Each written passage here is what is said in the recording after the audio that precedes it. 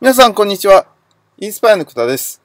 今日もユーストリームを使いまして、ネットビジネスに関する情報を生中継で15分間お届けしまいります。今日もよろしくお願いします。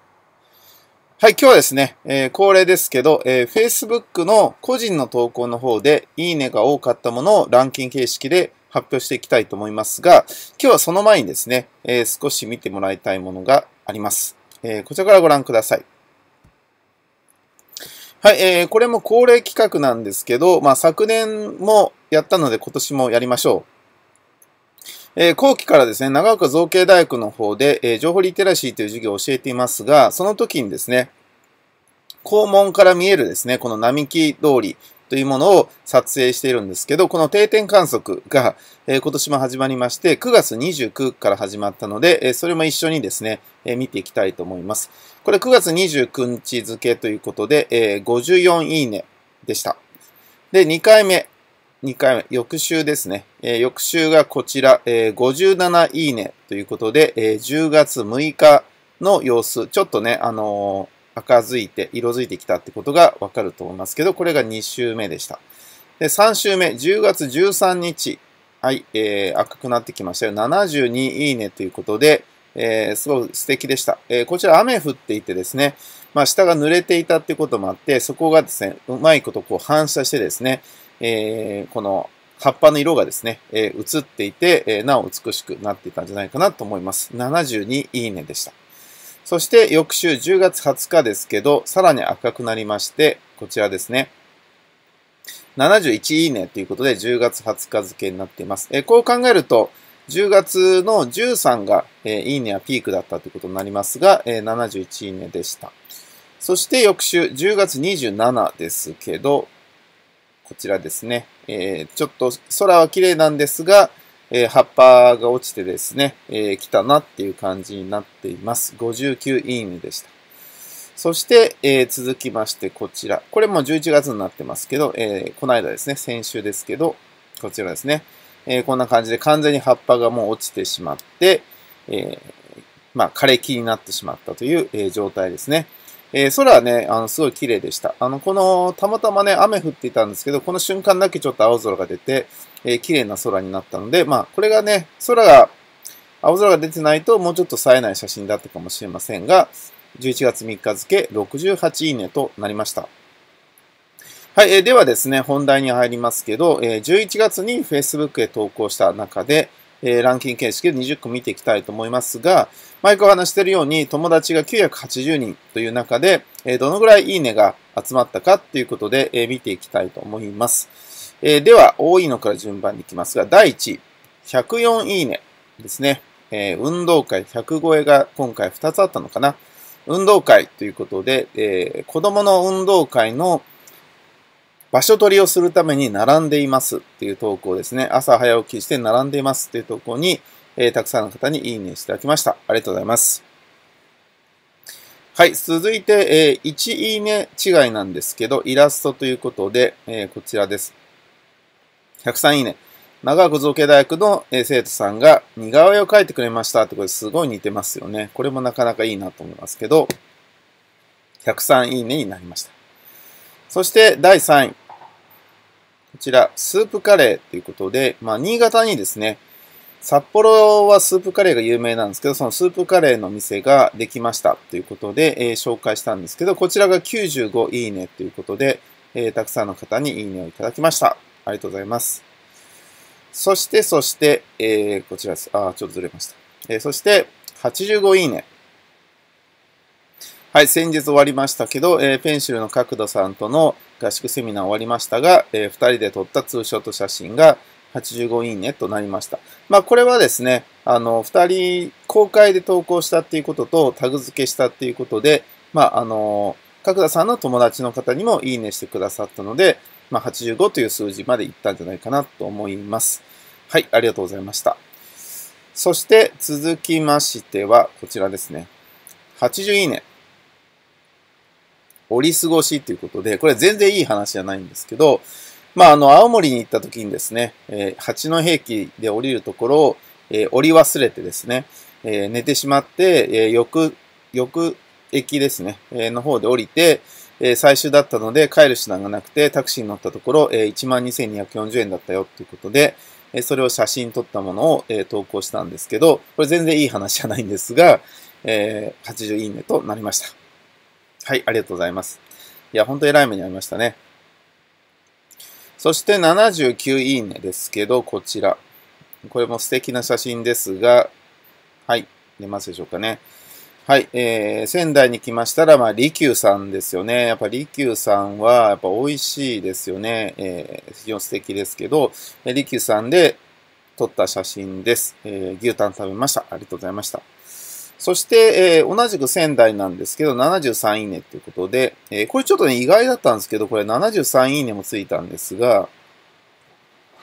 あの、半田屋さんっていうですね、あの、まあ、定食屋さんがあって、まあ、非常に学生向けの、安くて、えー、量が多いっていうですね、えー、定食屋さんがあるんですけど、まあ、そちらのメニューがこんなにお得なんですっていうことで、えー、投稿したものなんですけど、えー、これ370円とかね、え、ライスカレー268円みたいな感じで出てますけど、えこれで、えー、73円になりました。これちょっと意外でしたね。こんなに、え、いいねがつくと思わなかったんですけど、やっぱ安いですよね。ということじゃないかなと思います。はい。えー、では続きまして72いいねということで、えー、さっきも出ましたけど、長岡造形大学の10月13日付のものですね。えー、非常にこれ素敵ですね。こちらが一番高かったですね。えー、72いいねとなりました。で、一つ違いで翌週71いいねということで、まあ、こっちの方がですね、まあ、あの、紅葉としては赤くて綺麗なんですけど、まあ、2週連続で、まあ、ちょっとね、インパクトもないということと、あとね、下のこう映ってる感じもないので、まあ、1個ぐらい少なくなってしまうのかなっていう気がしました。はい。そしてこちら。これもちょっと意外だったんですけど、69いいねってことは月光というふうにあげましたが、えー、これ月をね、撮影するって結構難しいんですけど、まあ、綺麗にですね、撮れましたので、えー、こちらを上げてみたんですが、えー、結構いいねいただきまして、69いいねとなりました。ありがとうございます。はい、続きまして、えー、こちら、66いいね、サラダということで、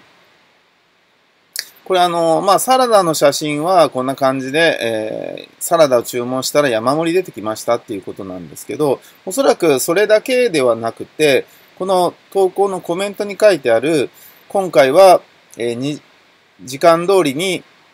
えー、やる予定だったんだけど、えー、時間からですね、あの、時間通りから過ぎてしまったと。で、え、思ったよりも、え、削減してね、あの、時間通りできなかったよっていう、えー、一人反省会です、みたいな投稿だったんですけど、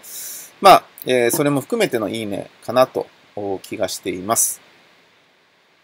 そして65いいね、こちらです。創立記念日ということで、えー、こちらですね、あの学生さんが写真撮らせてくださいと言って、えー、撮っていったものなんですけど、これ僕が撮ったんじゃなくて、えー、生徒が撮ったものなんですけど、えー、創立記念日の日に今日創立記念日ですって言って、まあ、えー、また同じく、え、母の誕生日でありますみたいな感じで書いた投稿にいいねが入りました。なのでこれはどっちかというと、あのその投稿内容に関してのいいねも多かったんじゃないかなっていう気がしています。ありがとうございます。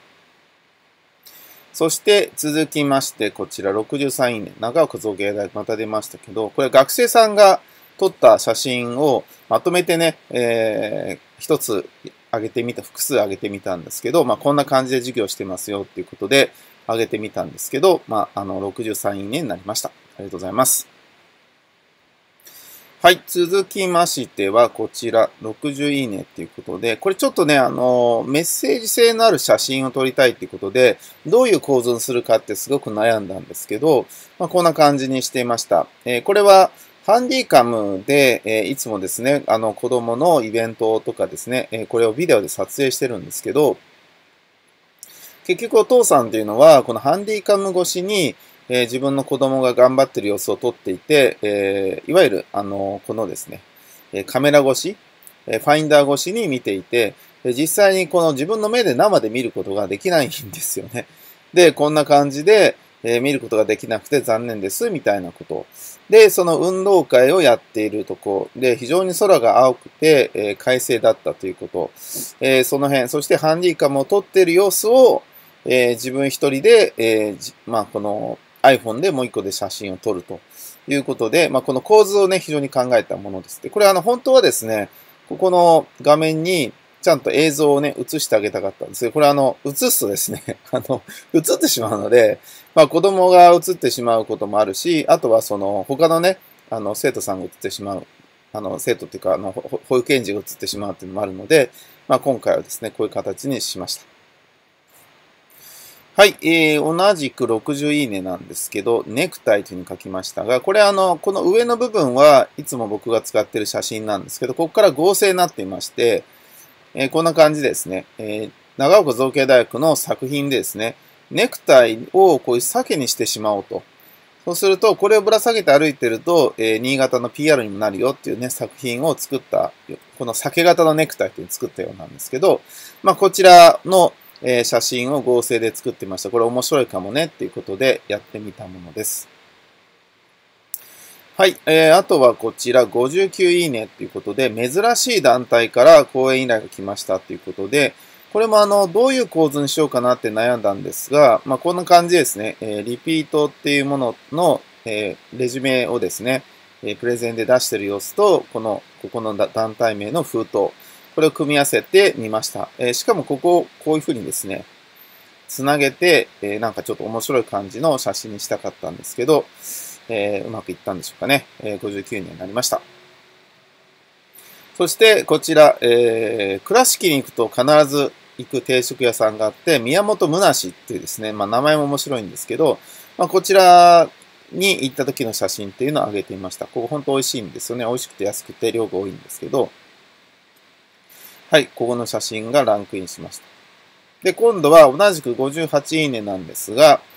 いつも言ってるアリエル・グーさんのとこの新しい商品、イチジクのタルトっていうものを撮ってみました。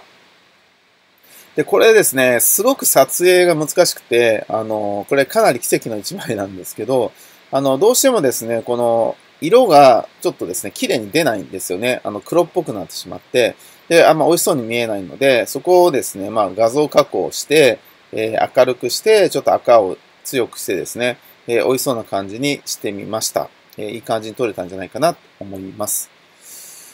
はい、えー、続きましてこちら59いいねということで、えー、10月27の造形大学の様子ですね。えー、こちらも素敵ですけど、こんな感じになりました。そして、えー、これももうね、あの、4年かな ?5 年連続撮ってるのかな？えー、長、あのー、国土交通省北陸地方整備局で、え、講演をしているんですけど、そちらの玄関前の写真。これ今年綺麗になりましたよね。ここのパネルが。去年綺麗になった気がしますが。という形です。で、えー、ここからちょっとですね、おまけなんですけど、これ2011年の10月に、えー、美女とのツーショットということで、えー、大分のセンチュリーホテルっていうところあるんですけど、ここのですね、えー、ツーショットが159いいねって言って、当時はかなりこれでもバズった、え、投稿なんですが、ちょうどこれと同じ日にですね、4年ぶりに、えー、そういえば懐かしいねっていうことでコメントしたら、まあ友達もね、ある程度入れ替わっていて、えー、また懐かしいなということで、もう一回ね、いいねしてくださった人もいて、なんと79いいねも増えたんですね。で、230いいねまで増えたわけなんですが、ということはもうこれでですね、79っていうことは、今回の投稿でいくと、これだけでもね、えー、この20位で58なので、えー、上位にランクインしてるものになりました。面白いですよね。で、もう一個こちら、えー、Facebook 通知音が変わったんですね。でこれを動画に撮って、公開で上げてみたんですけど、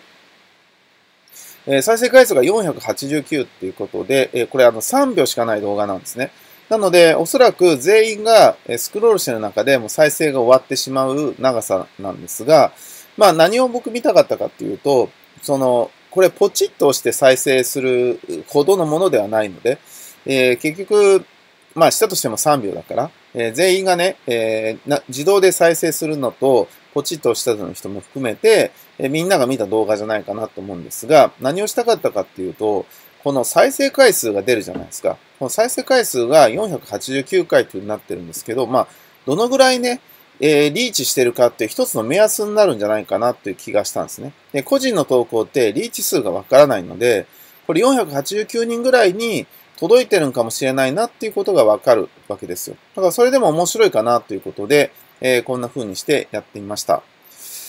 はい、えー、ということでですね、えー、10月もいろんな投稿をしてみましたが、また11月もですね、えー、頑張ってやってますので、よろしくお願いいたします。インスパイアのことでした。ありがとうございました。バイバイ。